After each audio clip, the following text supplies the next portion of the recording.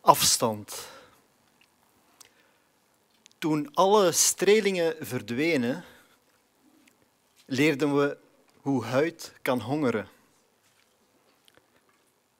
We werden ontmaskerd als mensen met nood aan een glimlach. Met diepe teugen wilden we ademhalen, maar we haalden het niet. Er vielen leegtes te betreuren. Toch lieten we elkaar niet los. Samen nemen we nu afstand van alles wat ons scheidt.